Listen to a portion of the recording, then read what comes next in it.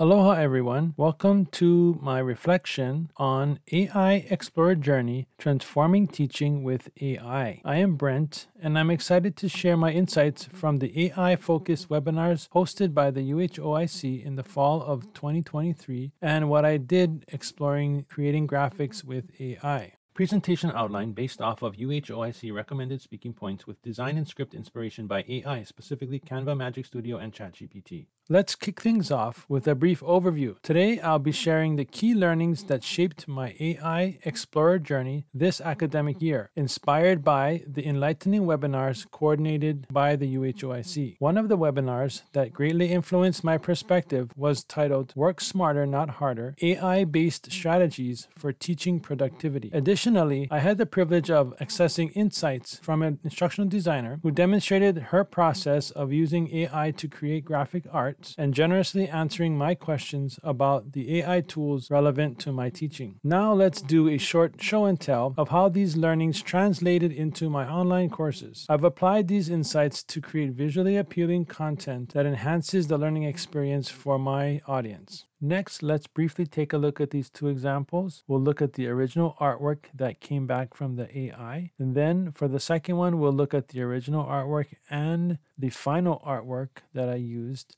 and I'll tell you a little bit about the process that I followed with the AI and then fixing it up using traditional Photoshop. Here is an example of a project artwork created using Microsoft Bing and DALL-E 3 uh, for the title page artwork for my resource. So this image is generated using AI. The search terms included make an image, online learning and engagement, and H5P. Now let's explore another project in which I created a banner image using a combination of AI and traditional Photoshop technique. The journey from the original AI, which is on the lower left, was generated using search terms for the AI, and then a portion of that artwork was cropped using uh, traditional Adobe Photoshop to the final composition on the right which has a few other layers for text, uh, a blue banner background bar for the text, and then an icon for the H5P software overlaid over the background image, which is a sample from the AI. It was exciting and transformative in the way that I approached making this graphic.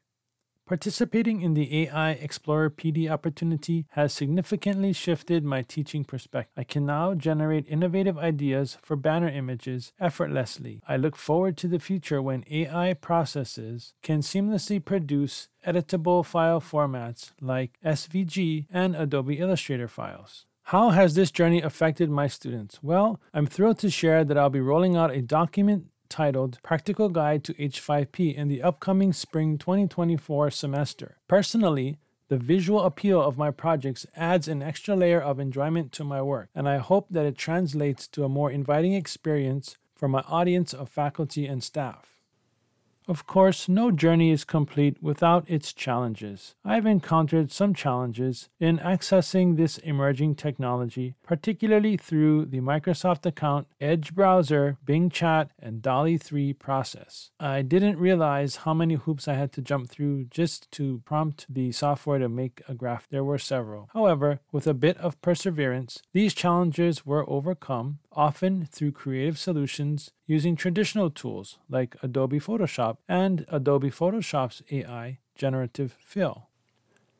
To those interested in embarking on a similar AI exploration journey, my advice is to start small, but have a meaningful goal in mind. Keep detailed notes in a Google Doc and regularly revisit and refine your notes removing any unhelpful or unused details. This is an iterative process and it will prove invaluable as you navigate the realm of AI. In conclusion, this AI Explorer journey has been transformative for me, and today I've shared the insights gained and showcased the tangible outcomes from my resource document. Thank you for joining me, and aloha.